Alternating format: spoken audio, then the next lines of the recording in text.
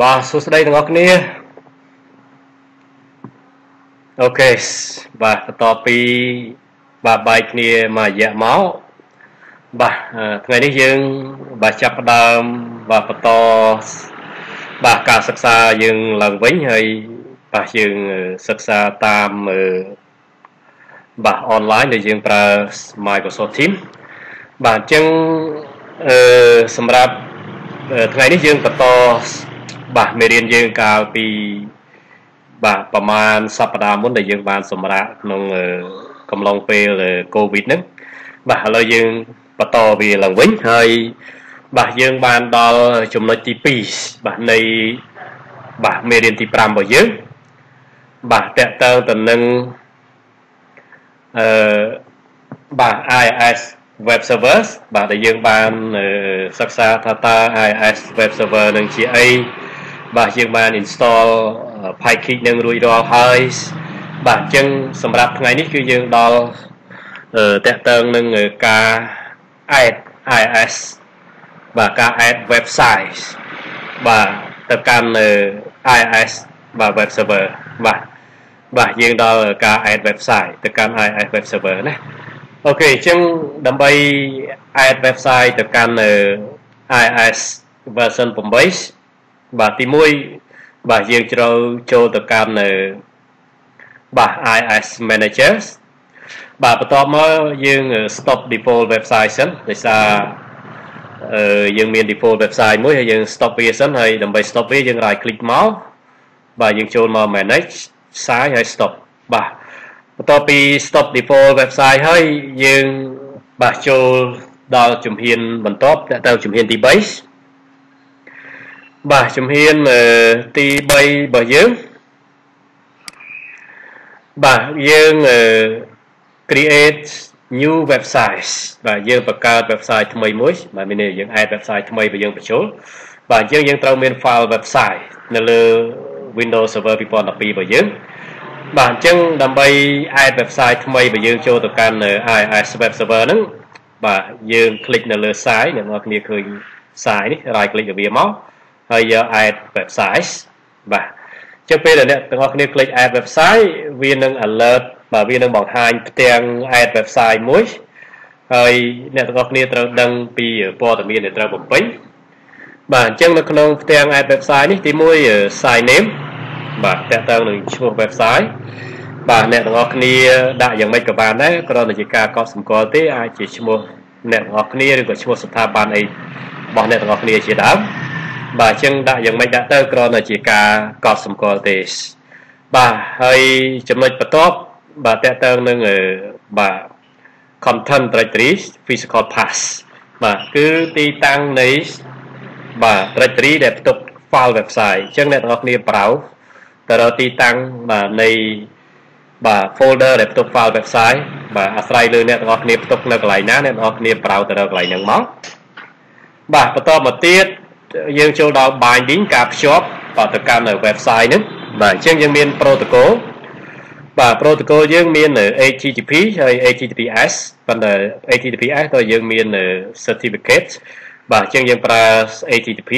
ហើយ IP នេះអ្នកទាំងអស់គ្នាអាចប្រើ IP របស់ម៉ាស៊ីនឬក៏ប្រើ all unassigned បាទ all unassigned មានន័យថា IP មួយណាក៏បានដែរបើសិនបើអ្នកទាំងអស់គ្នាប្រើ IP ជាក់លាក់ បាទពេលដែលម៉ាស៊ីនរបស់អ្នកទាំងអស់គ្នាដូរ IP តម្រូវឲ្យអ្នកទាំងអស់គ្នាបង្កែដូរ IP ដែលនឹងតាមដែរបាទអញ្ចឹងជាការគួរគួរតែប្រើ all unassigned ហើយ port នេះគឺ port 80 protocol HTTP បាទហើយបន្តមកអ្នកទាំងអស់គ្នា click OK បាទបាទ click OK បាទពេលនោះអឺបាទ website បាទថ្មីរបស់អ្នកទាំងអស់គ្នាបាទត្រូវបានអាចចូលទៅកាន់នៅ IIS web server ហើយបាទប៉ុន្តែគ្រាន់តែអត់តន់អាច access website បានឡើយសារយើងអត់តន់បានអាចឈ្មោះនៃ file website នេះចូលទៅកាន់ default document បាទអញ្ចឹងអ្នកទាំងអស់គ្នាបើក file website ហ្នឹងមកហើយឧទាហរណ៍ file website អ្នកទាំងអស់គ្នាបាន save ដាក់ថា mywebsite.html អ្នកទាំងអស់គ្នា copy file website ហ្នឹងមកបាទដើម្បីយកទៅ add ចូលនៅក្នុង default document បាទដើម្បីឲ្យគេអាច access website នឹងបានណាអូខេបាទអញ្ចឹងពេលដែលអ្នកទាំងអស់គ្នា copy ឈ្មោះ file website នឹងហើយបាទដែលអ្នកទាំងអស់គ្នាបាន save ជាមួយនឹង index បាទដែលបាន save ជាមួយនឹងកតុយវាដាក់ថា .html នេះបាទបន្តទៅទៀតអ្នកទាំងអស់គ្នាចូលទៅកាន់បាទ IIS manager ហើយ click ទៅលើបាទនៅក្រោម site នេះ click ទៅលើ web ឈ្មោះ website នេះអ្នកទាំងអស់គ្នាបានបាទ បាទ add មិញហ្នឹងហើយអ្នកទាំងអស់គ្នា double click លើបាទ default document បាទ default document បាទហើយនៅលើ default document អ្នកទាំងអស់គ្នាបាទ add បាទឈ្មោះ website របស់អ្នកទាំងអស់គ្នាចូលមកបាទហើយ click OK បាទជាការស្រេចបាទបន្តទៅទៀតអ្នកទាំងអស់គ្នាអាច refresh វាមួយបាទបន្ទាប់ពី add website រួចហើយបាទអ្នកទាំងអស់គ្នាអាចចូលទៅកាន់បាទ website បាទពី web browser នៃ machine server ក៏បាន machine client ក៏បានបាទដោយ wise IP នៃបាទបាទ website របស់អ្នកទាំងអស់គ្នាពេលនោះវានឹងចូលដល់ website អូខេតោះឥឡូវយើងមើលការបាទ demo បញ្ជាក់ទាំងអស់គ្នាទាក់ទងនឹងការ add website ទៅកាន់នៅ IIS បាទ version 8 OK អញ្ចឹង អឺអ្នកទាំងអស់គ្នាត្រូវបើកបាទ server 2012បាទ OK OK ជាងនេះជា diagram របស់យើង OKបាទអ្នកនរគ្នាអាចឃើញអឺផ្ទាំង GNS3 នេះយើងប្រើ GNS3 ដើម្បី demo ហើយ បាទយើងមាន server 2012ដែលយើងបាន install IIS យើងធ្វើវាជា web server ហើយហើយក៏ខ្ញុំអត់តបាន add website យើងមាន default website មួយហើយ IP របស់វា192.168.1.253ជាមួយនឹង subnet mask/24 បាទហើយយើងមាន client បាទយើងមាន client ជា Windows បាទ Windows 7របស់ខ្ញុំនេះហើយខ្ញុំបានដាក់ IPA ត្រឹមត្រូវរួចហើយបាទអញ្ចឹង យើងចូលទៅកាន់ server 2012បាទអញ្ចឹងយើងបើក server 2012មកបាទខ្ញុំបានបើកវារួចហើយបាទអូខេបាទអ្នកទាំងអស់គ្នាឃើញ server 2012ដែលខ្ញុំបើកនេះទេបាទបើសិនតែឃើញជួយ alert បាទសំឡេងមកណាអូខេ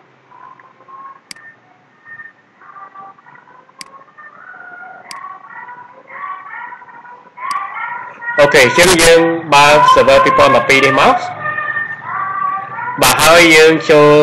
មកកាន់ IIS manager បាទយើងនៅក្រោម server manager នេះបាទ dashboard នៃ server manager នេះអ្នកនរគ្នាមានឃើញ IIS បាទ click វាមកហើយបាទ right click លើបាទ server យើង IS 2012មាន IP ពីនេះមកអ្នកទាំងអស់គ្នាចូលទៅកាន់បាទ internet information service IS manager អូខេអញ្ចឹងយើងពលានៃបាទ mission server មកអ្នកទាំងអស់គ្នានឹងឃើញសាយហើយមាន default website មួយបាទអញ្ចឹង default website នេះគ្រាន់តែបង្ហាញបាទព័ត៌មានពី IIS ទេយើងអ្នកទាំងអស់គ្នាអាចប្រើវាមើលយើងធ្លាប់ប្រើពីមុនមកហើយបាទអូខេអញ្ចឹងវាគ្រាន់តែបង្ហាញពី iOS version 8ទេបាទអញ្ចឹងយើងអាច stop វាបានហើយបន្ទាប់មកយើងចាប់ផ្ដើម add website របស់យើងអញ្ចឹងដើម្បី stop វាយើង right click ទៅវាមកចូលមក manage website ហើយ stop វាអូខេហើយយើងចាប់ផ្ដើម add website ថ្មីរបស់យើងដោយ right click លើ site បាទយើងនឹងឃើញពាក្យថា add website OK OK ហើយ site name បាទនេះគ្រាន់តែជាឈ្មោះទេឧទាហរណ៍ខ្ញុំដាក់ថាបាទ e4 website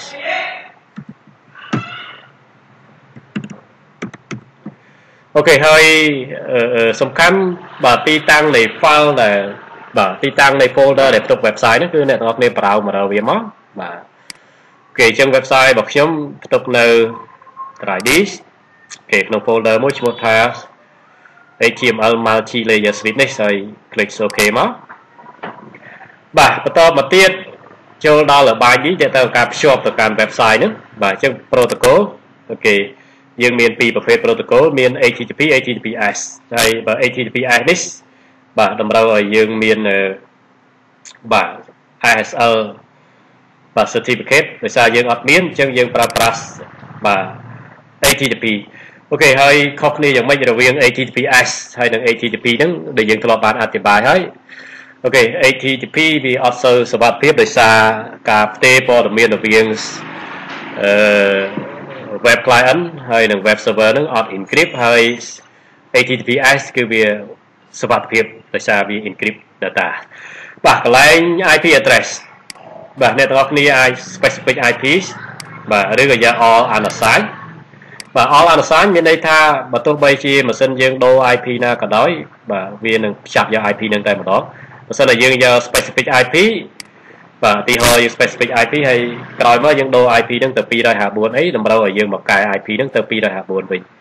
ចឹងខ្ញុំ recommend ឲ្យយក all unassigned គេហើយ port port 80នៃ protocol HTTP បាទកន្លែង host name នេះអ្នកនរគ្នាអាចបញ្ចូលជាបាទឈ្មោះ domain បាទបាទប៉ុន្តែបើទោះបីអ្នកនរគ្នាបញ្ចូលជាឈ្មោះ domain ក៏ដោយក៏អត់ទាន់អាច access បាទតាមឈ្មោះបានដែរបាទតលតែអ្នកនរគ្នាបាទទៅបង្កើតអឺ បាទ zone បង្កើត a record នៅលើ DNS server ទើបអាច access តាមឈ្មោះបាន OK ចានឹងជារឿងក្រោយចឹងខ្ញុំទុកវានឹងសិនហើយបន្ទាប់មកយើង click OK បាទអញ្ចឹងយើងនឹងឃើញយើងបាន website របស់យើងហើយបាទហើយនៅក្នុង default document នេះ OK បាទអឺដោយសារខ្ញុំធ្លាប់ add ពីមុនអញ្ចឹងយើងឃើញឈ្មោះ website របស់ខ្ញុំនេះត្រូវបាន add បញ្ចូលហើយ by default អត់មានទេបាទ OK by default អត់មានទេ example.html នេះអត់តមានទេ by default ដោយសារខ្ញុំធ្លាប់ add ពីមុនបាទអញ្ចឹង by default វានៅក្នុងស្ថានភាពបែបនេះបាទអញ្ចឹងតម្រូវឲ្យអ្នកទាំងអស់គ្នាចូលទៅកាន់បាទទីតាំងដែលផ្ទុកនៅ file website ហ្នឹងអូខេហើយបើកបាទ website ហ្នឹងមកបើក file website ហ្នឹងមកអូខេអញ្ចឹង file website ហ្នឹងគឺឈ្មោះនេះអ្នកដូចអ្នកទាំងអស់គ្នាបានឃើញឈ្មោះបាទ example .html អញ្ចឹងយើងត្រូវ copy អាហ្នឹងទៅដាក់នៅក្នុង default document បាទទៅដាក់ក្នុង default document អូខេអញ្ចឹងយើងមក website របស់យើងវិញ e4 website ហើយបើក default document មក right click add គេ pass ឈ្មោះ file website ដែលយើងបាន save នឹងមកហើយ click OK បាទបន្តមកយើង refresh វាបាទយើង refresh វាបាទ OK ហើយយើងអាច access ទៅកាន់ website នឹងបានបាទយើងអាច access ពីអឺបាទ server ក៏បានពី client ក៏បានអញ្ចឹងម្នាក់ទាំងអស់គ្នា access ពី server នេះឃើញមាន browse បាទ OK OK អញ្ចឹងយើងឃើញចូលទៅដល់បាទបាទ website របស់យើងហើយ website នេះគ្រាន់តែបង្ហាញព័ត៌មានបាទតិចតួចទេហើយអ្នកទាំងអស់គ្នាអាច access ពី client បាទនេះគឺ client machine បាទអាចបើក web browser ណាមួយមកហើយ IP បាទ boss បាទ website របស់យើងគឺ192របស់ web server យើង168.1.253បាទអញ្ចឹងវាចូលដូចគ្នាអញ្ចឹងការ add website របស់យើងអត់មានអីជារឿងស្មុគស្មាញប្រហែលទេវាមានភាពបាទងាយស្រួលទេអូខេអញ្ចឹងយើងបន្តបាទចំណុចបាទផ្សេងទៀតបាទ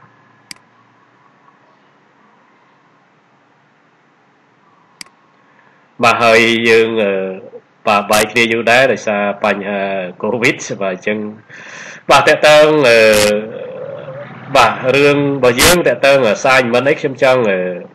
បាទ inform អ្នកបាទជូនដំណឹងដល់អ្នកទាំងអស់គ្នាបន្តិចបាទយើងសប្តាហ៍នេះគឺ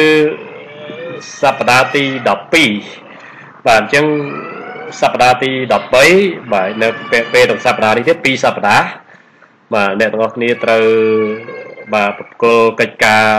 បាទដែលអ្នកទាំងអស់គ្នាតែខ្ញុំបានដាក់ឲ្យធ្វើហ្នឹងឲ្យខ្ញុំបាទដើម្បីខ្ញុំរៀបចំបាទបាទឲ្យបន្ទុកអ្នកទាំងអស់គ្នាហើយបន្ទុកហ្នឹងយើងយកធ្វើជាបាទតកតើងនឹងបន្ទុកសម្រាប់ meter ហើយខ្ញុំនឹងអាចឲ្យអ្នកទាំងអស់គ្នាធ្វើបទបង្ហាញតកតើងអ្វីដែលបាទក្រុមនីមួយនីមួយបានរៀបចំហ្នឹងហើយ ខ្ញុំនឹងជូនដំណឹងលម្អិតពេលក្រោយបាទនៅពេលដែលយើងបញ្ចប់មេរៀនរបស់យើងយើងនឹងមានការធ្វើបទបង្ហាញហើយខ្ញុំនឹងឲ្យបន្ទុកទៅតាមការធ្វើបទបង្ហាញរបស់អ្នកទាំងអស់គ្នាមានបន្ទុកជាក្រុមហើយនឹងបន្ទុកផ្ទាល់ខ្លួនរបស់ម្នាក់ម្នាក់ណាអូខេអញ្ចឹងយើងបន្តទៀតបាទបាទយើងមានការកត់សម្គាល់មួយទៀតពិតខ្ញុំបានអធិប្បាយរួចហើយគ្រាន់តែយើងចង់បញ្ជាក់បន្ថែមទេ បាទដោយបានបង្ហាញអញ្ចឹងនៅក្នុងផ្ទាំង ad website បាទយើងមានព័ត៌មានមូលដ្ឋានមួយចំនួន បាទដែលត្រូវបំពេញដូចជា site name បាទតើតើនឹងឈ្មោះ site ហ្នឹងបាទអាចជាឈ្មោះទីកន្លែងឬអាចជា domain ឬក៏ឈ្មោះបុគ្គលយើងក៏បានដែរបាទគ្រាន់តែជាការកត់សម្គាល់តែប៉ុណ្ណឹងហើយអ្វីដែលសំខាន់គឺ physical pass បាទ physical pass នេះគឺទីតាំងនៃបាទ directory ដែលផ្ទុកនៅ file website នៅលើ local server ហ្នឹងគឺនៅលើម៉ាស៊ីន server 2012របស់អ្នកទាំងអស់គ្នាហ្នឹងអញ្ចឹងអ្នកទាំងអស់គ្នាត្រូវ browse ទៅដល់ទីតាំងហ្នឹងហើយថៃតើតើប្រភេទ protocol បាទយើងមានពីរ protocol ដែលយើងអាច access ទៅកាន់ website ហ្នឹងបាទអាចជា HTTP ឬ HTTPS បាទអាស្រ័យតែកន្លែងយើងហ្នឹងបាទបើសិនតែយើងប្រើបាទយើងមាន certificate យើងអាចប្រើ HTTPS អូខេ បាទចំណុចបន្តតើតើនឹង IP ខ្ញុំបានកត់សម្គាល់ឲ្យយើងហើយដែរបាទអញ្ចឹង IP address ពេលដែលយើង add website បាទយើងអាចប្រើ default all unassigned បាទ all unassigned ហ្នឹងទោះបីជាម៉ាស៊ីនយើងដូរ IP ប្រមាណក៏ដោយក៏វាភ្ជាប់មួយ IP ហ្នឹងដែរហើយបើសិនតែយើងយក IP ជាក់លាក់ពេលដែលយើងដូរ IP របស់ម៉ាស៊ីនយើងតម្រូវឲ្យយើងទៅកែប្រែកន្លែង IP ហ្នឹងដាក់ IP ជាក់លាក់វិញបាទហើយ host name កន្លែងនេះអាចដាក់ឈ្មោះ domain បាទឬក៏អាចបង្កើតជាបាទ A ឬបាទ A record ឬ alias record បាទប៉ុន្តែយើងអត់ទាន់អាច access តាមឈ្មោះនឹងបានទេតម្រូវឲ្យយើងបាទត្រូវមាន DNS 0ត្រូវមាន A record ឬ CNAME record បាទនៅលើ DNS server ទើបយើងអាច access តាមឈ្មោះបានណា OK OK អញ្ចឹងយើងចូល note ទី2បាទដោយសារជាទូទៅពេលដែលយើងធ្វើ web hosting បាទប្រកបណាស់បាទគេអត់ដឹងថាបាទ website របស់យើងនឹង IP ប្រមាណនេះបាទ IP ជាទូទៅគឺប្របាក់ចាំបាទអញ្ចឹងអ្នកទាំងអស់គ្នាត្រូវឲ្យគេអាច access តាមឈ្មោះបានបាទអញ្ចឹងដើម្បីឲ្យគេអាច access ទៅកាន់ website របស់អ្នកទាំងអស់គ្នាតាមឈ្មោះបានហ្នឹងបាទអ្វីដែល បាទអ្នកទាំងអស់គ្នាត្រូវធ្វើហ្នឹងគឺត្រូវទៅបង្កើតបាទបាទ A records បាទបាទ A record address record ឬក៏ alias record បាទនៅលើ DNS server បាទដោយសារ DNS server វាមានតួនាទីតទៅនឹងការបកប្រែពីឈ្មោះបាទទៅកាន់ IP អញ្ចឹងពេលដែលគេបើក web browser ហើយគេវាយឈ្មោះបាទពេលនោះ request ហ្នឹងបាទសំណើហ្នឹងនឹងត្រូវបាន បាទបញ្ជូនទៅកាន់ DNS server បាទដើម្បីសួរ DNS server ថាតើឈ្មោះនឹងមាន IP ប្រមាណបាទអញ្ចឹង DNS server វា check មើលក្នុង zone ដែលពាក់ព័ន្ធឧទាហរណ៍បើ zone តើតើ ITY3 or UPP.edu.kh អញ្ចឹងវាទៅ check នៅក្នុង zone ហ្នឹងហើយ zone ហ្នឹងបើគេមានបង្កើត A record ឬបាទអញ្ចឹងគេ DNS នឹងអាចបកប្រែពីបាទឈ្មោះទៅកាន់ បាទ IP អូខេតោះឥឡូវយើងទៅមើលការបង្កើតបាទ A record នៅលើ DNS server ទាំងអស់គ្នាហើយ server 2012របស់យើងនោះបាទយើងបាន install បាទតួនាទី DNS server នៅលើវារួចជាស្រេចទៅហើយបាទកាលពីយើងរៀនមេរៀន DNS server ណាអូខេអញ្ចឹងយើងបាន install វារួចរាល់ហើយបាទឥឡូវយើងចាប់ផ្ដើមទៅបង្កើត A record បាទ តាមដែលខ្ញុំចាំដូចជាបានធ្វើ A record AA អស់ហើយតាំងពីនៅមេរៀន DNS ប៉ុន្តែឥឡូវយើងទៅ check មើលភាសាទៀតមកហើយបាទនេះយើងអាចវាភាសាទៀតមកដើម្បីបាទយើងធ្វើដដែលដដែលទៅវាអាចជួយយើងក្នុងការបាទចាំហើយក៏ដូចជាការយល់ដែរអូខេបាទអញ្ចឹងយើងចូលទៅ DNS manager បាទយើងចូលទៅកាន់ DNS manager បាទនៃ server 2012របស់យើង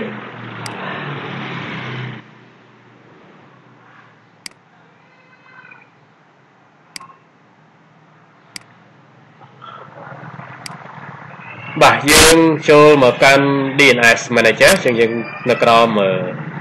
បាទ dashboard នៃ server manager នេះយើងឃើញមាន DNS បាទយើង right click លើ server ហ្នឹងមកហើយមក DNS manager អូខេអញ្ចឹងអឺ A record ជាប្រភេទ record មួយ boss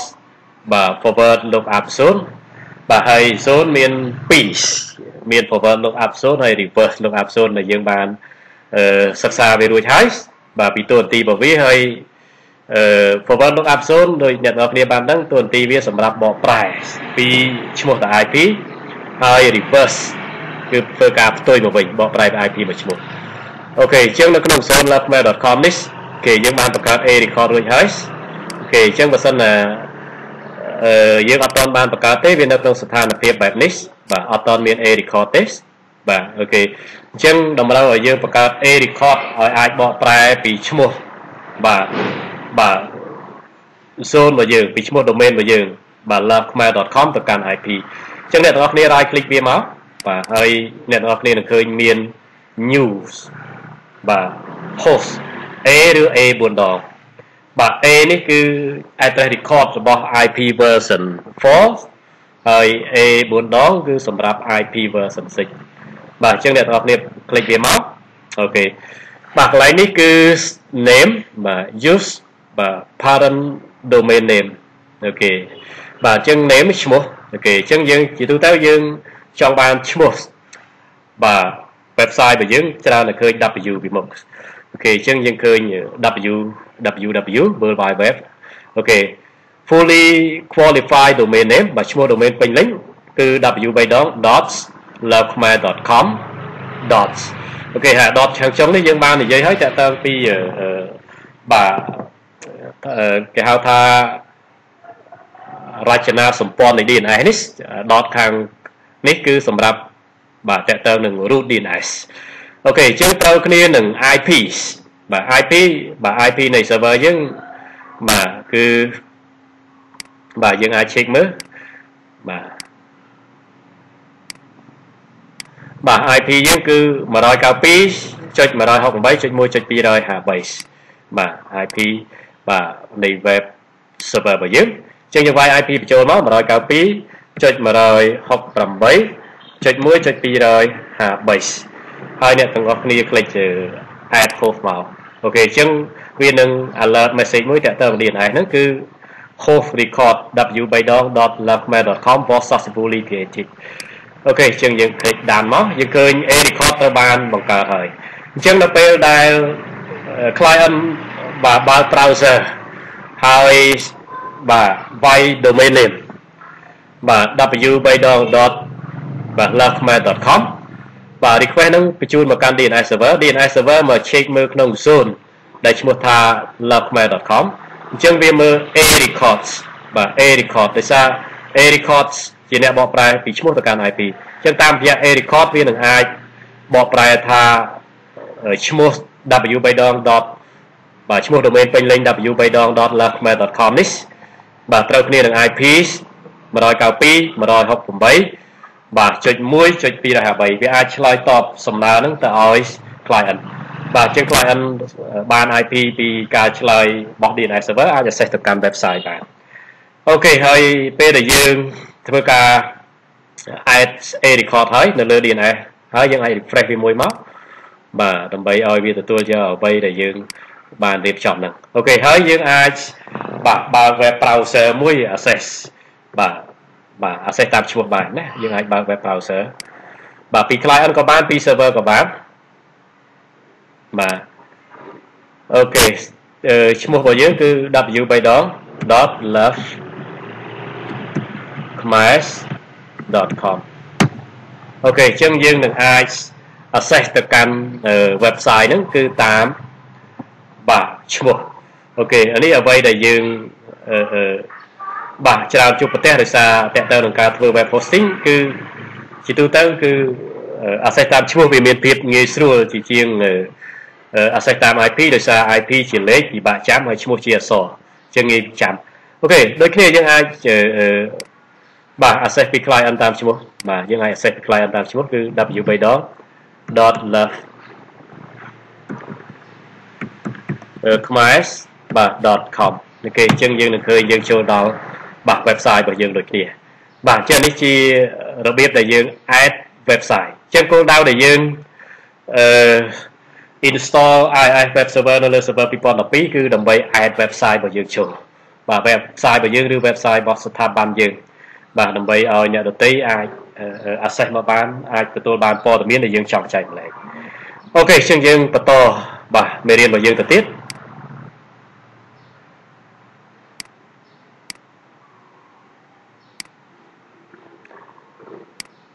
OK យើងបន្តបាទមេរៀនយើងទៀតបាទ OK នេះ note ទី3នេះតើតើនឹង convert note page នៅក្នុង HTML document ទេអ្នកទាំងអស់គ្នាដឹងហើយជាខ្ញុំ skip វាម្លងវាអូខេយើងចូលចំណុចទី3បាទចំណុចទី3បាទតើតើនឹង remote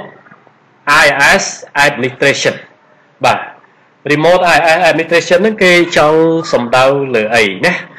បាទ remote IIS administration មានន័យថាបាទនៅលើ IIS web server យើងជា domain admin បាទយើងអាចឲ្យបាទ user ណាមួយបាទមក user ធម្មតាក៏បានឬក៏ user ជា administrator នឹងអាចមានលទ្ធភាព បាទក្នុងការ remote access ពីបាទ client machine បាទចូលមកគ្រប់គ្រងបាទ web server IIS បាទទាំងមូលឬក៏ចូលមកគ្រប់គ្រង website ណាមួយ អូខេហេតុអីយើងចាំបាច់ធ្វើបែបហ្នឹងណាបាទដោយសារយើងជាអ្នកកាន់ domain admin ជាទូទៅបាទយើងមិនមែនចេះគ្រប់រឿងទេមិនមែន web ក៏យើងចេះ mail ក៏យើងចេះ DNS បាទឬអ្វីអ្វីគ្រប់យ៉ាងយើងចេះទាំងអស់ទេបាទអញ្ចឹងអ្នកដែលគេកាន់ខាង web admin អ្នកគ្រប់គ្រង website ហ្នឹងបាទយើងគួរតែឲ្យគាត់បាទមានសិទ្ធិ បាទ remote ចូលពី client machine មកគ្រប់គ្រង web server ឬក៏មកគ្រប់គ្រង website ណាមួយ បាទដើម្បីផ្ដល់ភាពងាយស្រួលបាទឲ្យគាត់ធ្វើការ update អីផ្សេងៗនៅលើ website របស់យើងនឹងបាទអញ្ចឹងអានេះតកតើនឹងចំណុចដែលយើងនឹងលើកមកសិក្សានេះគឺតកតើនឹង remote IIS application បាទមានន័យថាយើងអាចឲ្យបាទ end user user ធម្មតាហើយនឹង administrator ជាដើមនឹងបាទ ឲ្យគាត់អាច remote មកគ្រប់គ្រង IIS បាទ server នឹងពីម៉ាស៊ីន client ណាអូខេហើយដើម្បីធ្វើអានឹងបានបាទតម្រូវឲ្យយើង install បាទ service មួយបាទគេឲ្យឈ្មោះថា web management service បាទពេលដែលយើង install ហើយ web management service ហ្នឹងបាទបាទយើងបានមានមានន័យថា manual startup បាទ after install បាទគឺយើងបាទបើកវាបាទដោយផ្ទាល់ដៃបន្ទាប់ពី install បាទអញ្ចឹងអឺការបើកវាដោយផ្ទាល់ដៃបន្ទាប់ពីយើង install ហ្នឹងបាទវាប្រឈមនឹងបញ្ហាពេលដែលយើងបិទវាបាទឬក៏ computer យើង reboot បាទពេលវា start up មកវិញបាទគឺវា service ហ្នឹងគឺត្រូវបានបិទហើយបាទអញ្ចឹងជាការគួរអឺឲ្យយោបល់អ្នកនរគ្នាគួរតែដាក់វា automatic បាទបាទគួរតែដាក់វា automatic អញ្ចឹងពេលដែលដាក់វា automatic វានឹង start auto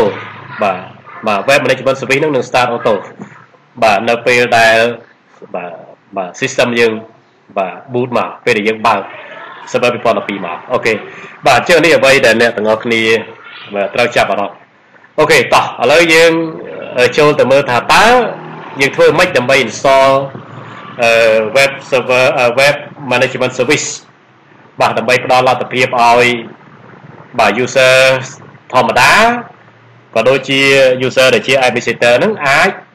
remote ពី client machine បាទចូលទៅគ្រប់គ្រង web server ឬក៏ website ណាមួយហើយអ្វីដែលចង់បញ្ជាក់នៅកន្លែងនេះបន្តិចបាទ remote មកបានហ្នឹងគឺមកគ្រប់គ្រងតែលើ web server អាចគ្រប់គ្រងលើ website ផ្សេងៗឬក៏ website ណាមួយ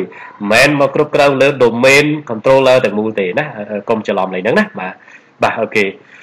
អូខេអញ្ចឹងអឺបាទយើងមើលដំណើរការនៃការ install management service បាទអូខេបាទដើម្បីឲ្យយើងអាចឲ្យ user ធម្មតាឬក៏បាទ administrator នឹងបាទអញ្ចឹងយើងត្រូវបើក server manager ហើយយើង click add role ហើយ features បាទហើយតិចទៀតចាំយើង ដូចជាខ្ញុំបាន install ហើយអត់អីទេចាំខ្ញុំ remove វាវិញហើយចាំយើងចាប់ដើម install ដោយសារថ្នាក់ផ្សេងហ្នឹងគេបានចប់មេរៀនហ្នឹងហើយអូខេបាទបន្ទាប់មកនៅពេលដែលយើងបើកបាទ server manager ហើយចូលទៅ add role ហើយ feature ហើយបាទយើងបន្ត click next រហូតទៅដល់បាទបាទរហូតដល់ add web server IIS ហ្នឹងហើយយើងបាន add ហើយហើយយើង នៅក្នុង server role ហ្នឹងយើងនៅក្រោម web server ហ្នឹងយើងពលាបាទយើងពលាបាទ management tool ហើយយើងស្វែងរក management service ហើយ select វាមកហើយ install វាមកអូខេបន្ទាប់ពី install វាអឺជោគជ័យហើយបាទយើងនឹងឃើញមានបាទបាទ management service បាទយើងនឹងឃើញមាន management service អញ្ចឹងយើងបើក management service នឹងមកបាទបាទយើងបើក management service បាទយើងនឹងឃើញ enable remote បាទ connection នេះ by default អត់បាន click ទេបាទអញ្ចឹងយើងត្រូវ take this បាទហើយយើង click អឺបាទ apply ឲ្យ start វាមកបាទបន្ទាប់ពី apply ឲ្យ start មកបាទ service នឹងត្រូវបាន start ហើយប៉ុន្តែគ្រាន់តែការ start service នឹងជាលក្ខណៈអឺបាទ manual អញ្ចឹងវាប្រឈមនឹងការបិទឡើងវិញ បាទប្រសិនបើយើងអត់បានទៅដាក់វាអូតូម៉ាទិកទេបាទអញ្ចឹងអ្វីដែលយើងត្រូវធ្វើបន្ទាប់គឺទៅ add វាអូតូម៉ាទិកបាទទៅ add វាអូតូម៉ាទិកបាទដល់យើងអឺចូលទៅកាន់ tool ហើយទៅ service បាទអូខេហើយស្វែងរក web management service by default កន្លែង start up type នេះគឺ manual បាទអញ្ចឹងយើងដូរមក automatic ហើយយើង click apply ហើយ click OK បាទអញ្ចឹង service នឹងនឹង start automatic នៅពេលដែល system boot មកបើកមកអូខេអញ្ចឹងបន្ទាប់ពីយើង add វាឲ្យ service នឹង start automatic ហើយយើងធ្វើការ testing បាទហើយដើម្បីធ្វើការ testing បានបាទគឺ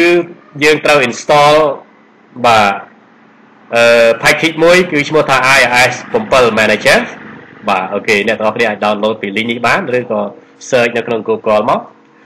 បាទអញ្ចឹងអ្នកទាំងអស់គ្នា download វា install លើម៉ាស៊ីន client របស់អ្នកទាំងអស់គ្នាបាទហើយពេលដែលអ្នកទាំងអស់គ្នា install វានឹង alert នៅ message មួយបាទប្រាប់អ្នកទាំងអស់គ្នាថាតើបាទយ៉ាងម៉េចបានអត់ទាន់អាច install នឹងបានអូខេអញ្ចឹងដោយអ្នកទាំងអស់គ្នាបានឃើញពេលអ្នកទាំងអស់គ្នា install IIS 7 Manager វានឹង alert ជា message មួយប្រាប់ថាបាទ IIS Management Console is not installed បាទមានន័យថា IIS Management Console នឹងអត់ត្រូវបាន install ទេ បាទ but it is required for managing remote IIS server បាទអញ្ចឹងដើម្បីអាចអឺបាទតម្រូវការរបស់ remote IIS server នឹងត្រូវការ install បាទ IIS managing console នឹងនៅលើម៉ាស៊ីន client នឹងអញ្ចឹងអ្នកទាំងអស់គ្នាត្រូវ install ហើយដើម្បី install នឹងបាទគេប្រាប់យើងថាធ្វើម៉េចដើម្បី install បាទគេឲ្យអ្នកទាំងអស់គ្នាបើក control panel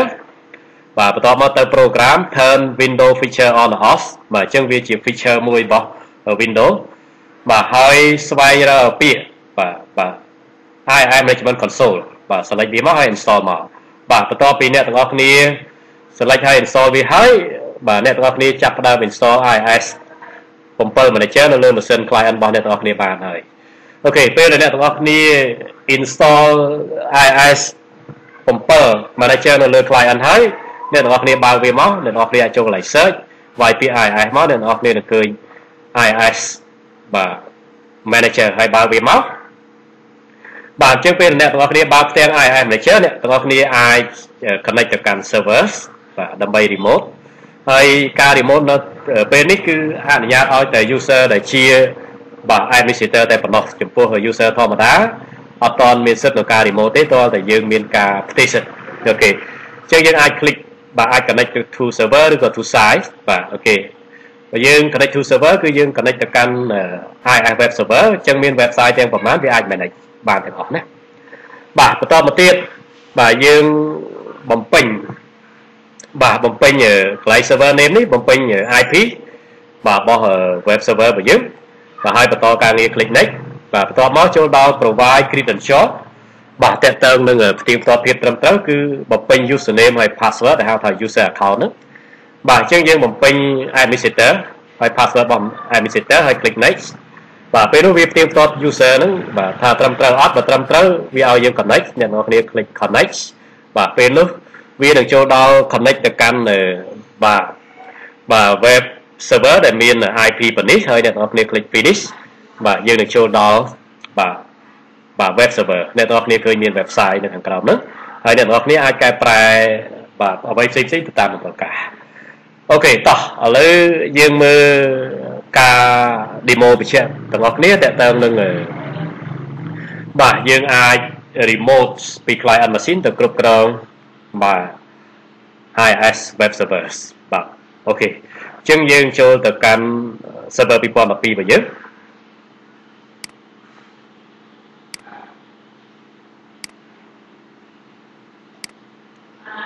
បាទយើងមក server 2012ស្អីគេបាទយើងបើ server 2012មកបាទហើយអឺយើងត្រូវចាំយើងត្រូវ install IIS បាទ sorry យើងត្រូវ install management service ហើយដូចជាខ្ញុំបាន install ហើយបាទយើង click កន្លែង add role ហើយ features បាទហើយនេះយើងធ្លាប់អธิบายពីមុនហើយ before you begin អីយើងធ្លាប់និយាយច្រើនហើយអញ្ចឹងខ្ញុំអត់អธิบายទៀតទេបន្តការងារ click next បាទ next បាទ next ទៀតមកអូខេនៅក្រោមនៅក្នុង server role នេះអ្នកនរគ្នាស្វែងរក web servers បាទយើងបាន install ហើយហើយបាទនៅខាងក្រោម management tool list បាទ OK អ្នកទាំងអស់គ្នាត្រូវ install management service by default management service នេះអត់ទាន់បាន install ទេ OK អ្នកទាំងអស់គ្នាត្រូវ install OK អញ្ចឹងខ្ញុំបាន install ហើយបាទ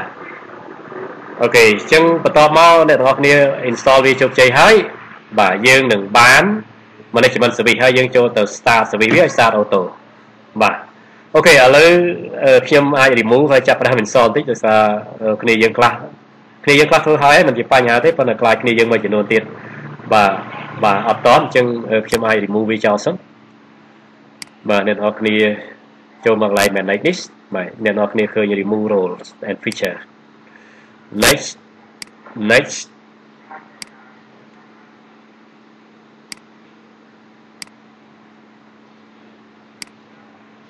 OK ខ្ញុំ remove វាឲ្យមកស្ថានភាពដើមវិញសិនហើយចាំបន្ត add OK អញ្ចឹងយើង remove ហើយ restart មកបើសិនជាតម្រូវការ OK អញ្ចឹងយើងរងចាំវាបន្តិចវាកំពុងតែបាទចាប់ផ្ដើមដំណើរការនៃការ remove management service បាទដែលជាបាទបាទសេវាកម្មមួយអាចឲ្យយើងគ្រប់គ្រងការ remote ពី client ចូលមកកាន់ IIS web server ឬក៏ចូលមកកាន់ website ណាមួយនៃ IIS web server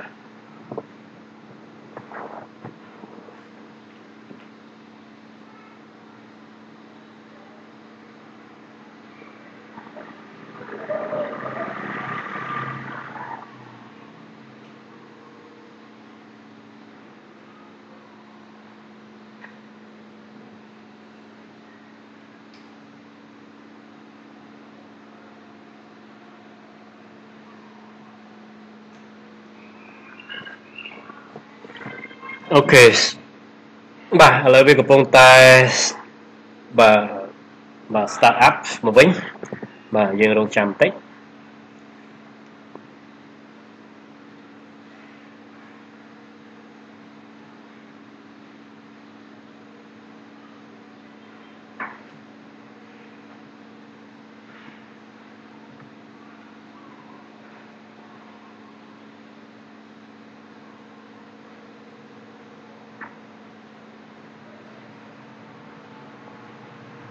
អូខេអញ្ចឹងយើង log ចូលបាទជាមួយ user account ដូចជា administrator មក password របស់ administrator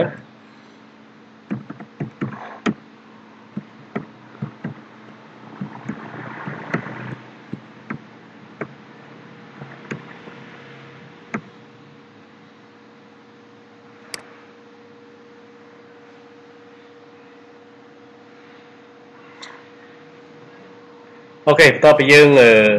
បាទ log ចូលជាមួយបាទ administrator account ហើយយើងចាប់ផ្ដើមដំណើរការនៃការ install បាទ IIS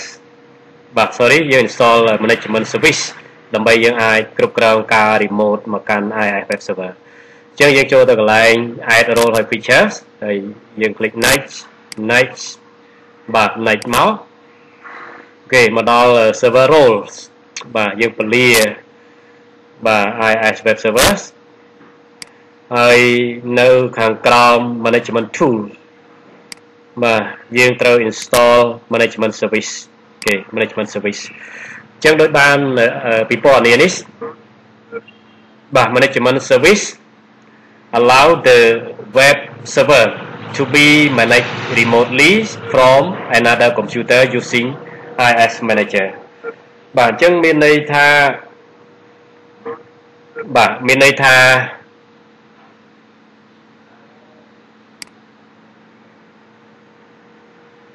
បាទ connection បញ្ហាតិចមិញបាទបាទ internet រៀង slow តិចទៅដាច់តិចអូខេមានន័យថាបាទ management service អនុញ្ញាតឲ្យ web server ត្រូវបានអាចអាចឲ្យគេគ្រប់គ្រងពីចម្ងាយ ពី computer ផ្សេងទៀតដោយប្រើប្រាស់ IIS Manager បាទអញ្ចឹងតម្រូវឲ្យខាង computer ដែលចង់ remote មកហ្នឹងត្រូវតែ install IIS Manager អូខេហើយបន្តការងារយើងយើង click next បាទហើយតើតើនៅ feature បន្ថែម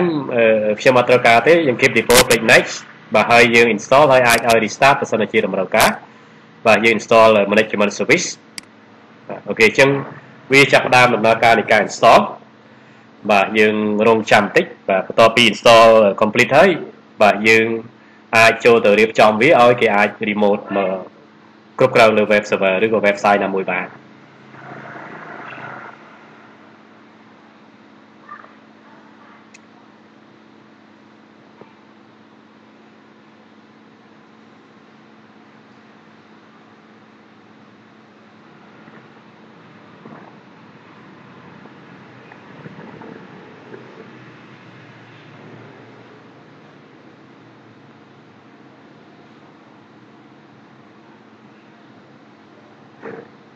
អូខេអញ្ចឹងបន្ទាប់ពីអ្នកទាំងអស់គ្នាឃើញ installation succeed ហើយបាទយើង close វាមកបាទអញ្ចឹងយើងចាប់ផ្ដើមដំណើរការនៃការរៀបចំបាទដើម្បីយើងអាចអឺ remote ពី client machine មកគ្រប់គ្រង IIS web server ឬក៏ website ណាមួយអញ្ចឹងយើងត្រូវចូលទៅកាន់ IIS manager បាទអ្នកនរគ្នា click IIS មកហើយ right click លើឈ្មោះបាទម៉ាស៊ីននេះហើយ internet information service manager បាទអូខេពលាឈ្មោះម៉ាស៊ីននេះមកបាទអញ្ចឹងនៅคลิกលើឈ្មោះម៉ាស៊ីនបាទអ្នកទាំងអស់គ្នាទាញមកក្រោមមកយើងឃើញមាន management service បាទយើងបើកវាមកដើម្បីคลิกវាមកអូខេអញ្ចឹងយើងឃើញអឺ management service យើង enable remote connection នេះអត់ទាន់បាន take ទេបាទហើយគេបញ្ជាក់ឲ្យ use the feature to configure how client connect to this server by using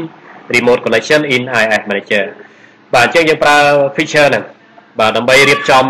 ថាតើ client អាច connect ទៅកាន់ server បាទពីចម្ងាយដោយប្រើប្រាស់ IIS Manager ហ្នឹងយ៉ាងម៉េចបាទអញ្ចឹងតម្រូវឲ្យយើងបាទ click enable remote connection ហើយ identity credential នេះបាទតកតងទៅនឹងអឺការផ្ទៀងផ្ទាត់ភាពត្រឹមត្រូវបាទពេលដែល remote ពី client មកត្រូវផ្ទៀងផ្ទាត់ភាពត្រឹមត្រូវអញ្ចឹងយើងមានពីរជំរើសបាទផ្ទៀងផ្ទាត់ភាពត្រឹមត្រូវនេះតាមរយៈ user account គឺ username ហើយ password យើងអាចជ្រើសរើសយក window credential only បាទ window credential only នេះគឺ window user បាទអាចជា user ធម្មតាឬក៏ administrator បាទប៉ុន្តែ by default បានតែ administrator ទេ user ធម្មតាក៏មានការផ្ទេរសិទ្ធិបន្តបន្តទៀតណាបាទឬក៏យើងអាច select window credential ឬ IIS credential បាទអញ្ចឹងនេះ user អាច Windows user ក៏បានឬក៏ IIS user ក៏បានអាស្រ័យយើងអ្នកជ្រើសរើសបាទចំណែកតកតើងនឹង IP address នេះយើងយក all unassigned ឬក៏យើង select IP ហើយជ្រើស command ឲ្យប្រើ all unassigned ទោះបីយើងដូរ IP ណាក៏វាប្រើដែរក៏វាភ្ជាប់មួយនឹងដែរអូខេហើយចំណុចដែលចាប់អារម្មណ៍មួយទៀតតកតើងនឹង IP address restriction បាទនេះយើងអាចកំណត់ថាតើ IP client ណាអាច access មកបាន ហើយ IP ណាមិន access មកបានជាង by default គេដាក់ allows បាទអត់មានយើងឃើញ access for unspecified client គឺ allows បាទអញ្ចឹងអត់មានហាម client ណាមួយទេបាទអញ្ចឹងខ្ញុំ recommend បើសិនណាអ្នកទាំងអស់គ្នាបាទអ្នកណាម្នាក់ជា web admin ម៉ាស៊ីនគាត់មាន IP ប្រមាណអ្នកទាំងអស់គ្នាគួរតែអនុញ្ញាតឲ្យម៉ាស៊ីនរបស់ web admin មួយបានហើយដើម្បីសុវត្ថិភាពអញ្ចឹងអ្នកទាំងអស់គ្នាអាច click កន្លែងនេះ deny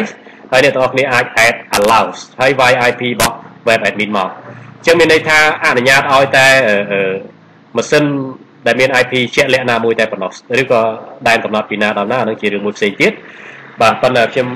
បាទបើសិនអ្នកទាំងអស់គ្នាដើម្បីបង្កើនសុវត្ថិភាពកុំឲ្យអ្នកដទៃអាច remote មកបានឲ្យតែ web admin ដោយសារគាត់ទទួលខុសត្រូវលើ website ផ្សេងផ្សេងហ្នឹងអញ្ចឹងអ្នកទាំងអស់គ្នាកន្លែងនេះអាចយក deny ហើយ add allow មក បាទអញ្ចឹងមានន័យថាអនុញ្ញាតតែម៉ាស៊ីនមួយហ្នឹងហើយក្រៅពីហ្នឹងគឺបដិសេធទាំងអស់OK អញ្ចឹងខ្ញុំរក្សាវាក្នុងស្ថានភាពដើមវិញយើងអត់ទៅដល់ចំណុចហ្នឹងទេ OK អញ្ចឹងបន្ទាប់ពីយើងរៀបចំអាហ្នឹងហើយយើងបន្តមកមើលបាទក្រងស្ដាប់នេះវា alert បាទជា message មួយ OK យើងឃើញថា management service is stop បាទ management service ត្រូវបានគេបិទបាទ the service must be started to remotely manage web server by using IIS manager អញ្ចឹង service ហ្នឹងត្រូវ start បាទអូខេអញ្ចឹងដើម្បី start ឲ្យ start នេះ start manual បាទវាប្រឈមនឹង stop វិញបើសិនបើយើងអត់បានទៅដាក់វា automatic ទេបាទអញ្ចឹងយើង click apply ហើយ start អូខេអញ្ចឹងយើងឃើញថា service ហ្នឹងត្រូវបាន start ហើយប៉ុន្តែ start ជាលក្ខណៈ manual អូខេ manual បាទវាប្រឈមនឹង stop វិញអូខេហើយអ្វីដែលទាំងអស់គ្នាចាប់អារម្មណ៍មួយទៀត management service must be stopped before making change the service configuration អញ្ចឹងបើសិនអ្នកទាំងអស់គ្នាចង់កែប្រែឧទាហរណ៍ចង់ជ្រើសរើស identity credential មក Windows បាទ credential ឬក៏ IIS manager credential អ្នកទាំងអស់គ្នាត្រូវ stop សិននឹងអាចកែប្រែបានឬអ្នកទាំងអស់គ្នាចង់ restrict IP អីត្រូវ stop សិនណាអូខេបាទអញ្ចឹង service នេះ start ហើយ start manual វាប្រឈមនឹង stop វិញបាទបើសិនបើបាទអឺ system យើង reboot អីជាដើមអញ្ចឹងជាការគួរបាទដើម្បីកុំឲ្យពិបាកពេលដែលយើងបិទ computer ហើយបើកវិញហ្នឹងបាទពិបាកមក start service នឹង manual បាទអ្នកទាំងអស់គ្នាគួរតែដូរវាពី manual ទៅ auto ចឹងដើម្បីដូរពី manual ទៅ auto អ្នកនរគ្នាចូលទៅ service អាចចូលកន្លែង search ក៏បានឬពី tool ក៏បានអាច search keyword ថា service បាទបាទ service នេះអ្នកនរគ្នាឃើញ service បាទហើយស្វែងរក web management បាទនេះ web management service គេអ្នក double click មកអូខេបាទ web management service property នេះបាទអ្នកនរគ្នាឃើញគេ description Web Management Service enable remote and delegate management capability for administrator for administrator បាទចឹងនេះយើងផ្ដល់លទ្ធភាពឲ្យ administrator នឹងអាច remote manage បានហើយយើងឃើញ start up ties បាទ start up ties manual បាទអញ្ចឹង manual វាប្រឈមនឹង stop វិញបើសិនបើយើងអត់បានដាក់វាអូតូម៉ាទិកទេហើយយើងឃើញ status វាកំពុង running ហើយប៉ុន្តែបើសិនតែយើងបិទ computer ហើយបើកវិញនេះនឹង stop វិញអញ្ចឹងយើងដូរពី manual មក automatic ហើយ click apply okay បាទ click apply okay បាទអញ្ចឹងនៅលើ server បាទប៉ុណ្ណឹងគឺជាការស្រេចហើយយើងអាចធ្វើការ testing ពី client បាទអញ្ចឹងពី client អ្នកទាំងអស់គ្នាត្រូវចាំត្រូវ install IIS បាទ manage IIS 7 manager អូខេអញ្ចឹងយើងមកបាទម៉ាស៊ីន client បាទយើងមកម៉ាស៊ីន client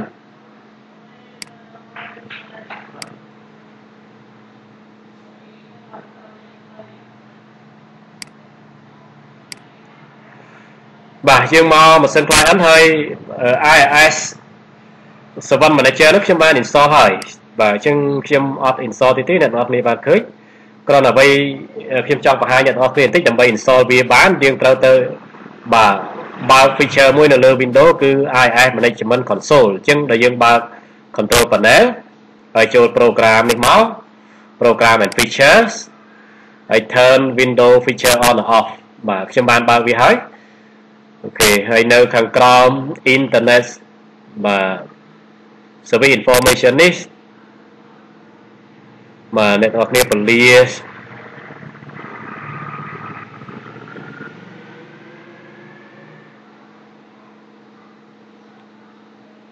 បាទ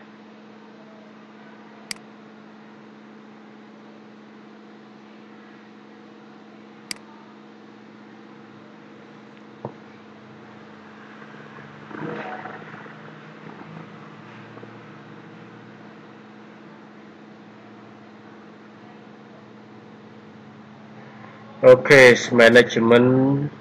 IIS management console មកចាំបន្តិចខ្ញុំពងរកវាខ្ញុំចាំតែខ្ញុំបានបើកឲ្យវាដំណើរការហើយអូខេនេះអូខេនេះយើងបាន by default វា select បែបនេះអញ្ចឹងយើង select វាហើយណាអូខេ IIS management console បាទអញ្ចឹងតើយើងបើក IIS management console នៅលើ client ហើយបាទយើងអាច install IIS 7 manager បាន អូខេអញ្ចឹងខ្ញុំបាន install វាហើយបាទអូខេអញ្ចឹងអ្នកនរគ្នាអាច search វាមក IIS គេអ្នកនរគ្នានឹងឃើញបាទ Internet Information Service IIS 7 Manager គេបើកវាមក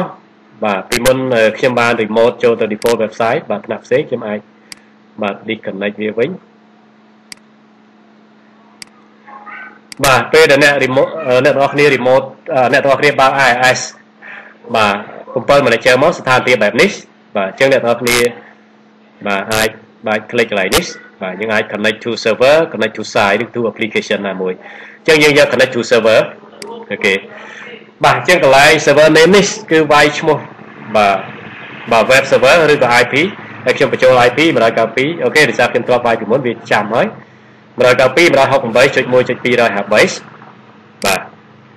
តបមកយើង click next គេចូលដល់បាទ provide credential បាទតើទៅ user account ដែលអាច remote បានហ្នឹងអញ្ចឹងមាន administrator អូខេហើយខ្ញុំបានវាយវាហើយនេះ administrator យើង select វាមក password របស់ administrator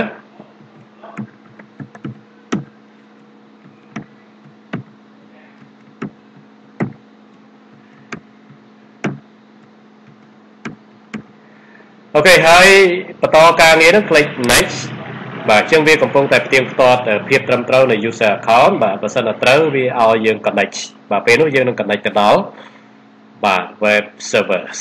បាទយើងនឹង connect ទៅដល់ web server តែយើងអាច manage website ផ្សេងៗនៅក្រោម web server ហ្នឹងអូខេអ្នកទាំងអស់គ្នា click connect មកបាទដូចអ្នកទាំងអស់គ្នាបានឃើញបាទ create a new connection successfully បាទមានន័យថាបង្កើតការតភ្ជាប់ជោគជ័យហើយហើយវានឹង connect ទៅកាន់ម៉ាស៊ីននេះតែមាន IP 192 168.1.2យកពីនេះមកអូខេអញ្ចឹងយើងនឹងចូលដល់បាទ web servers អូខេយើងនឹងចូលដល់ web server ហើយក្នុង web server ហ្នឹងយើងមាន website default ហើយ website បាទថ្នាក់យើង e-post អូខេចឹងនេះតកតើងនឹងបាទបាទ remote បាទ IIS administration បាទមានន័យថា យើងអាចឲ្យបាទ administrator ឬក៏ user ណាមួយអាច remote ពី client machine មកគ្រប់គ្រង web server ឬក៏ website ណាមួយពីចម្ងាយដើម្បីផ្ដល់ភាពងាយស្រួលបាទអូខេបាទអញ្ចឹងយើងតបាទមេរៀនយើងទៀតបាទ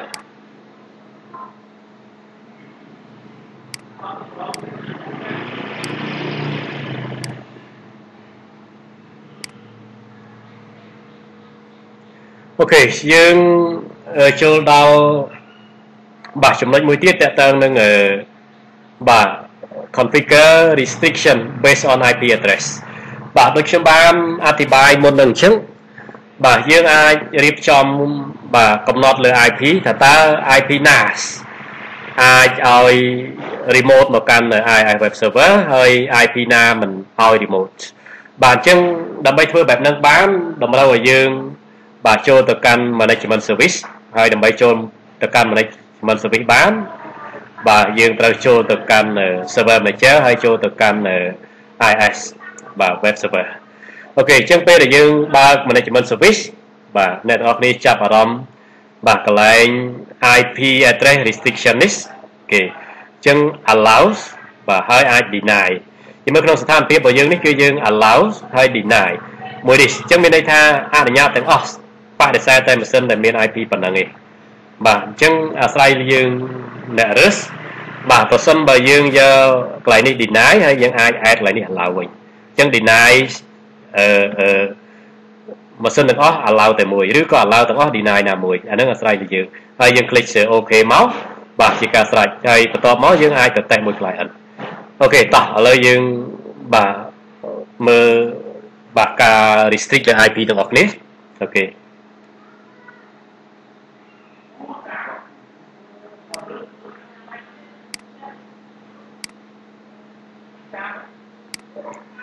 អូខេអញ្ចឹងយើងមើលនៅលើ diagram នេះបាទអឺនេះ web client មាន IP.1.2 បាទអញ្ចឹងខ្ញុំនឹងបាទអនុញ្ញាតឲ្យម៉ាស៊ីននេះឧទាហរណ៍ថានេះជាម៉ាស៊ីន web admin ដែលមាន IP.1.2 ហ្នឹងអាច remote មកកាន់ web server បានតែ IP copy ហ្នឹងអត់បានទេអូខេបាទអញ្ចឹងយើងចូលទៅបាទ server 2012របស់យើង បាទដើម្បីធ្វើរឿងហ្នឹងបាទអញ្ចឹងយើងអនុញ្ញាតឲ្យបាទ client ដែលមាន IP.1.2 អាច remote មកកាន់ web servers បាទនៅលើ server 2012របស់យើងហើយក្រៅពីហ្នឹងគឺបដិសេធបាទអូខេតោះឥឡូវយើងបើក server 2012មកអូខេហើយយើងចូលទៅកាន់បាទ IIS manager យើងបានចូលមកហើយហើយបាទយើងបើក management service អូខេអញ្ចឹងដូចយើងបានអធិប្បាយអញ្ចឹងរាល់ការកែប្រែតម្រូវយើង stop វាសិនបាទយើងមើល management service must be stopped before making change to the service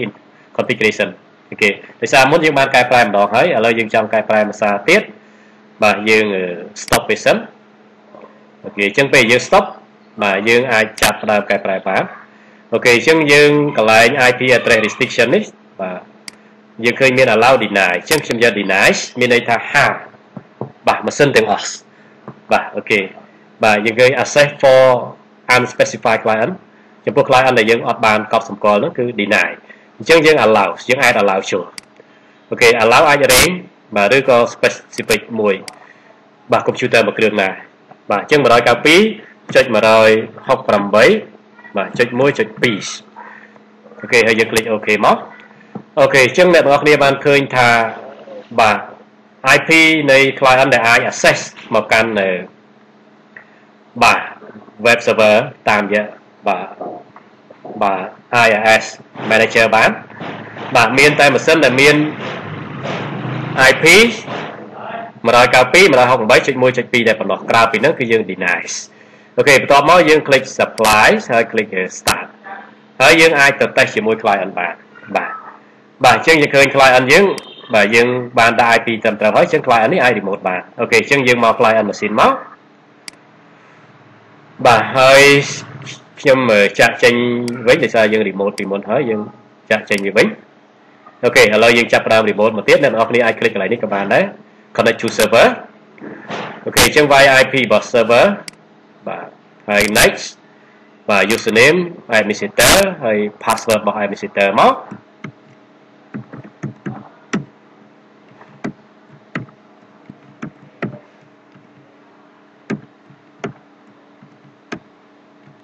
អូខេហើយយើង click next បាទអញ្ចឹងវាកំពុងតែផ្ទៀងផ្ទាត់ភាពត្រឹមត្រូវនៃ user account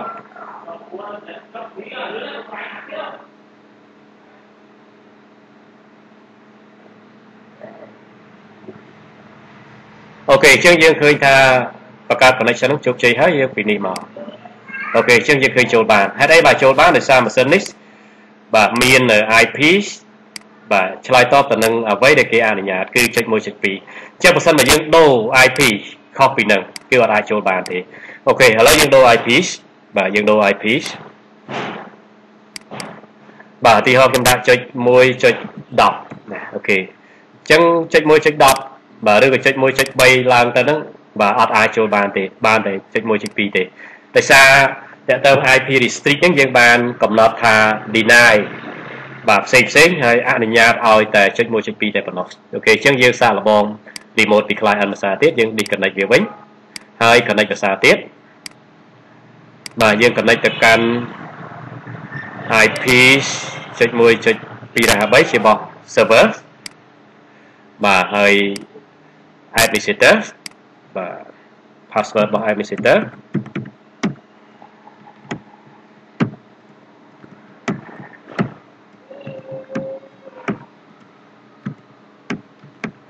អូខេហើយយើង click next មកបាទអញ្ចឹងវាចាប់ផ្ដើមធ្វើការផ្ទៀងផ្ទាត់ពីត្រឹមត្រូវ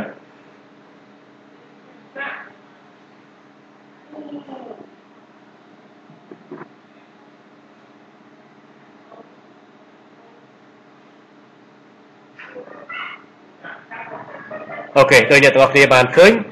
បាទវានឹង alert បាទ message could not connect to the specific computer បាទ server is not accepting remote connection គេចឹងអត់អាច connect បានទេដោយសារតើទៅនឹង restrict ទៅលើ IPs អូខេតែបើយើងដាក់មកចុច1ចុច2វិញគឺអាច remote មកបានណាអូខេអូខេអញ្ចឹងនេះតើទៅនឹងការកំណត់លើ IPs បាទតើ IP ណាអនុញ្ញាតឲ្យ remote បាទ IP client ណាអនុញ្ញាតឲ្យ remote ទៅកាន់ IIS web server ហើយ IP ណាមិនអនុញ្ញាតអូខេអញ្ចឹងយើងបន្តបាទចំណុចមួយផ្សេងទៀតអូខេ បាទយើងបន្តចំណុចផ្សេងទៀត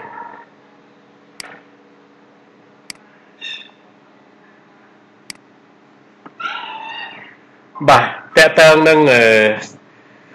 បាទ configuring user and permission for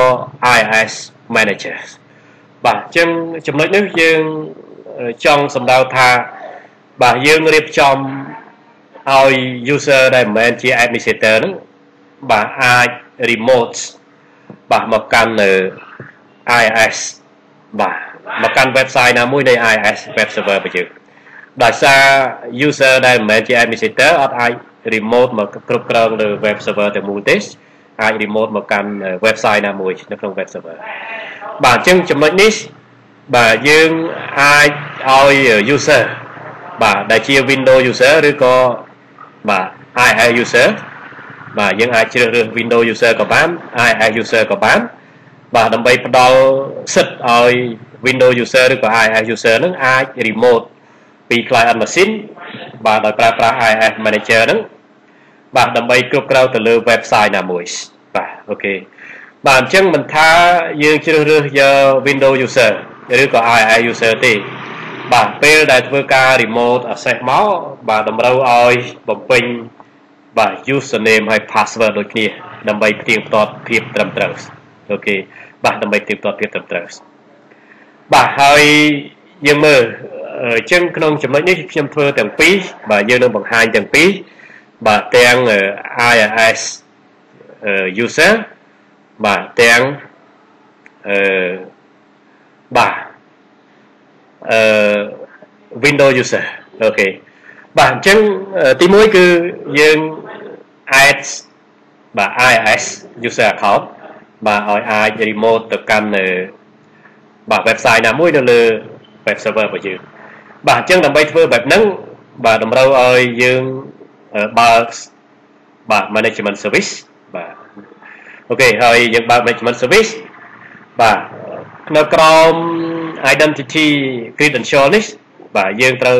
select យក window credential or IIS manager credential បាទបន្ទាប់ពីយើង select ហើយយើងបាទ apply start មកបាទហើយបន្តមកទៀតបាទយើងចូលទៅកាន់ IIS manager បាទយើងคลิกលើឈ្មោះ machine server ហើយស្វែងរក feature មួយឈ្មោះថាបាទ IIS manager user បាទ AI manager user នេះគឺយើងអាចបង្កើត AI user បាទបន្ទាប់មកយើងនឹងផ្ដល់លទ្ធភាពបាទយើងនឹងអនុញ្ញាតឲ្យ AI user នឹងអាច remote ទៅកាន់ website ណាមួយអញ្ចឹងយើងបើក AI manager user មកបាទហើយនៅក្នុងផ្ទាំង AI manager user នឹងយើង click add user បាទបន្ទាប់មកយើងបំពេញ user ណាមួយបាទបង្កើត user ណាមួយមាន user name មាន password ហើយ confirm password ហើយ click OK មក បាទអញ្ចឹង user ហ្នឹងត្រូវបានបង្កើតហើយឧទាហរណ៍យើងបំពេញថា test admin បាទហើយ password យើងដាក់យ៉ាងម៉េចដាក់មកជារឿងរបស់យើងបាទអញ្ចឹងពេលដែល IIS user បានបង្កើតហើយបាទយើងត្រូវអនុញ្ញាតឲ្យ IIS user ហ្នឹងអាច remote ពី client machine ទៅកាន់បាទ website ណាមួយបាទអញ្ចឹងយើងចូលទៅកាន់ IIS Manager ហើយយើង select website ឧទាហរណ៍ករណីរបស់យើងបាទយើងឲ្យ remote មកកាន់ default website បាទអញ្ចឹងយើងคลิกលើ default website ហើយយើងស្វែងរក បាទយើងស្វែងរកអឺ IIS Manager Permission បាទ IIS Manager Permission បាទយើង double click វាមកបាទអញ្ចឹងពេលដែលយើងបើក IIS Manager Permission បាទយើង click កន្លែង allow user បាទហើយពេលយើងបើក allow user យើងមានពីរជំរើសបាទយើងអាចជ្រើសរើស window user ក៏បាន IIS user ក៏បានប៉ុន្តែគោលដៅរបស់យើងយក IIS user អញ្ចឹងយើង click លើ IIS manager មកហើយ select ហើយយើង browse ទៅរក user ដែលយើងបានបង្កើតមកបាទ click OK ជាការស្រេចបាទបន្តមកទៀតយើងអាចធ្វើការ test ជាមួយ client បាទ remote ទៅកាន់ website ដែលយើងបានកំណត់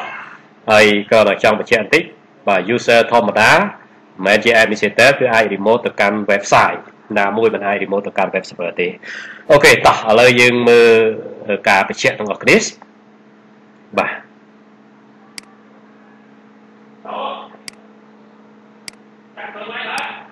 អូខេយើងមក server បាទយើងមក server 2012របស់យើងហើយចូលមកកាន់បាទបាទ management service យើងបានបើកហើយបាទយើងបើកពីមុននេះហើយចាំរាល់ការកែប្រែគឺ stop អូខេអូខេហើយកន្លែងបាទ identity credential នេះយើងយក Windows or IIS credential អូខេហើយតើតើនឹង IP នេះខ្ញុំឲ្យមកស្ថានភាពដើមវិញគេខ្ញុំ delete នេះចោលវិញអូខេហើយមានន័យថាអនុញ្ញាតឲ្យទាំងអស់ម៉ាស៊ីនណាក៏បានដែរគេហើយយើង click apply អូខេបាទបន្តមកទៀតបាទយើងចូលទៅកាន់បាទ IIS manager បាទយើងចូលទៅកាន់ IIS manager អូខេយើងคลิกទៅលើឈ្មោះ version server បាទហើយស្វែងរកបាទ IIS បាទ scroll មកក្រោមមកយើងនឹងឃើញ IIS manager user ដើម្បី click ទៅវាអានេះ user ដែលខ្ញុំបាន add ពីមុនបាទ by default អត់មានទេបាទ by default អឺស្ថានភាពដើមរបស់វាគឺបែបនេះ គេបាទអត់តមាន II user ទេអញ្ចឹងយើងត្រូវ add II user ដែលយើង click add user អូខេអញ្ចឹងយើងដាក់អីមួយឧទាហរណ៍ខ្ញុំដាក់ថា e4 web admin អូខេ e4 web admin ហើយ password មកបាទ confirm password ភាសាទៀតអូខេបាទអញ្ចឹង e4 web admin នេះជា IIS បាទ user បាទសួរថាអាច remote មកកាន់ website ណាមួយពី client បាននៅអត់តបានទេអញ្ចឹងតម្រូវឲ្យយើងជ្រើសរើស website ណាមួយបាទដើម្បី user នឹងអាច remote មកបានអនុញ្ញាតឲ្យ remote មកអញ្ចឹងខ្ញុំជ្រើសរើស default តាមមេរៀនរបស់យើងយើង click លើ default website នេះមកហើយយើងស្វែងរក IIS manager permission ដើម្បី click ទៅវាមកអូខេនេះ user ដែលខ្ញុំបាន add ចូលហើយស្ថានភាពដើមវាអត់មានទេបាទស្ថានភាពដើមវាអត់មានទេបាទនេះដោយសារខ្ញុំបាន add ចូលទេណាអូខេ បាទអញ្ចឹងយើង click allow user បាទហើយតើតើនឹង select type of user អញ្ចឹង user យើងយក IIS យើង select មកអូខេអញ្ចឹងយើងនឹងឃើញមាន IIS user ដែលយើងបានបង្កើតគឺបាទ E4 web admin select វាមក click OK អូខេមកអូខេអញ្ចឹងអឺ user IIS user ឈ្មោះថា web admin បាទនឹងអាចនឹងត្រូវបានផ្ដល់សិទ្ធឲ្យអាច remote ពី client មក បាទគ្រប់គ្រប់គ្រងទៅលើ website មួយឈ្មោះថា default website នៅលើ web server អូខេអញ្ចឹងនៅលើ server យើងធ្វើប៉ុណ្ណឹងជាការស្រេចហើយយើងអាចទៅ test ពី client machine បាទអាចទៅ test ពី client machine បាទអញ្ចឹងយើងទៅ test ពី client machine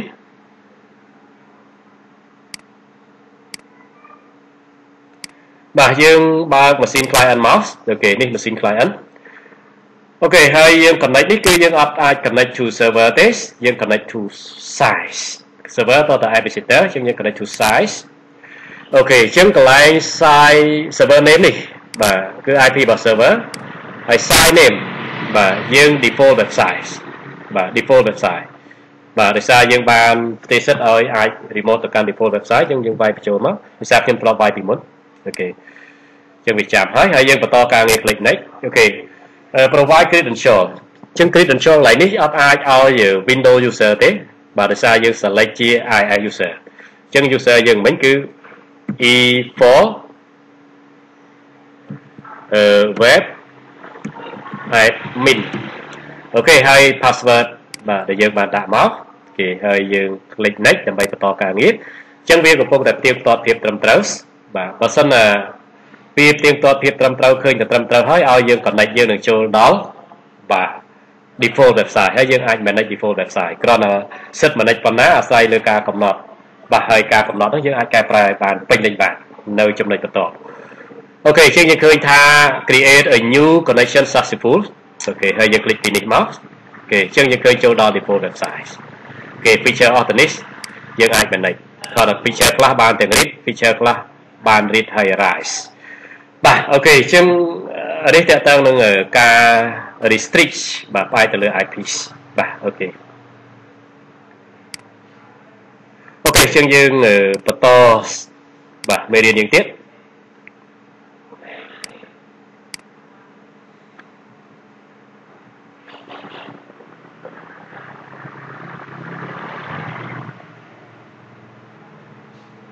អូខេអឺ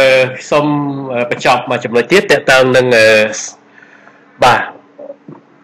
បាទតើតើនឹង permit window user បាទ to connect site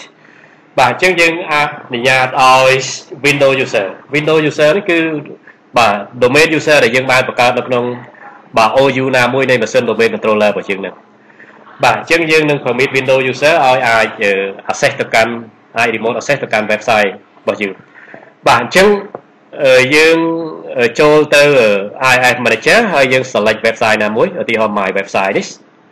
បាទបន្ទាប់មកយើងមក add permission បាទដោយសារ Windows user គឺមានស្រាប់ហើយអត់មានត្រូវការបង្កើតទីទេឬក៏យើងបង្កើត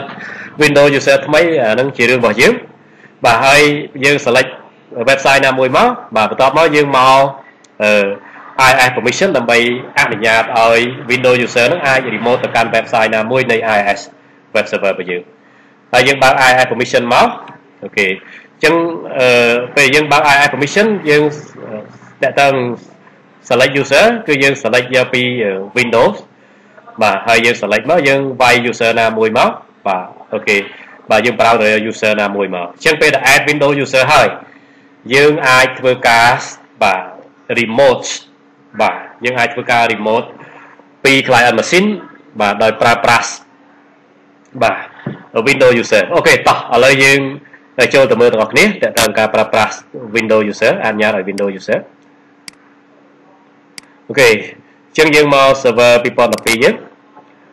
បាទយើងចូលមកកាន់ IIS Manager យើងចូលស្រាប់ហើយឧទាហរណ៍ហើយយើង select website ណាមួយឧទាហរណ៍ default website នេះហើយមកបាទ IIS permission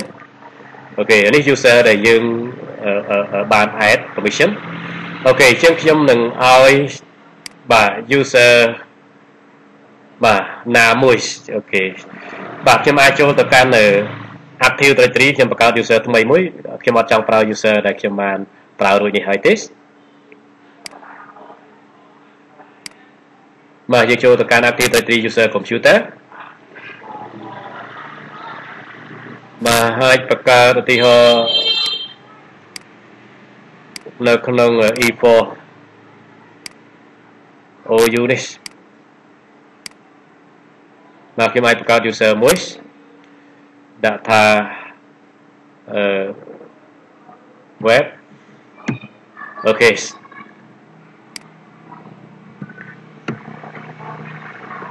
អឺ password ខ្ញុំដាក់លេខអូខេដាក់តែមួយ character ទេហើយមិនបាច់ឲ្យដូរ password ទេ password មិនបាច់ឲ្យ expire ទេ អូខេអញ្ចឹងខ្ញុំនឹង add Windows user ឈ្មោះថា web នេះឲ្យអាច remote ទៅកាន់បាទ IIS web server ពីអាច remote ទៅកាន់ default website នៃ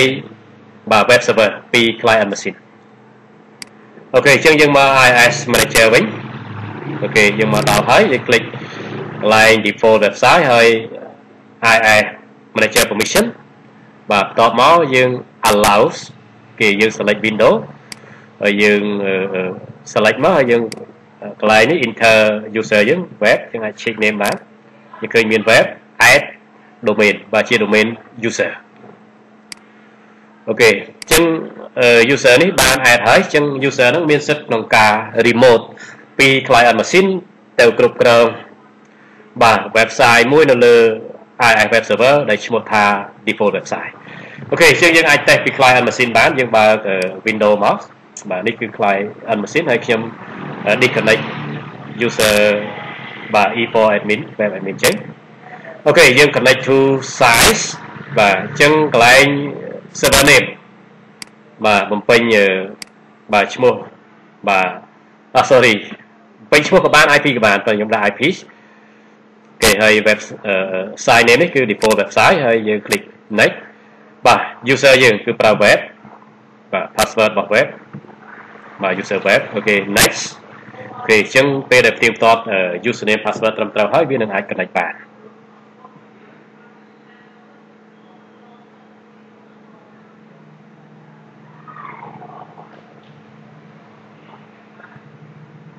អូខេអញ្ចឹងយើងពីនេះមកអូខេយើងឃើញថាបាទយើងអាច connect បាន អូខេអញ្ចឹងយើងសល់ពេល15នាទីហើយចេះខ្ញុំសូមរៀងលឿនបន្តិចសូមបញ្ចប់មេរៀនយើងបន្តិចដើម្បីស្អែកយើងចូលមេរៀនថ្មីបាទអញ្ចឹងយើងបន្តបញ្ចប់មេរៀនយើងបន្តិចបាទ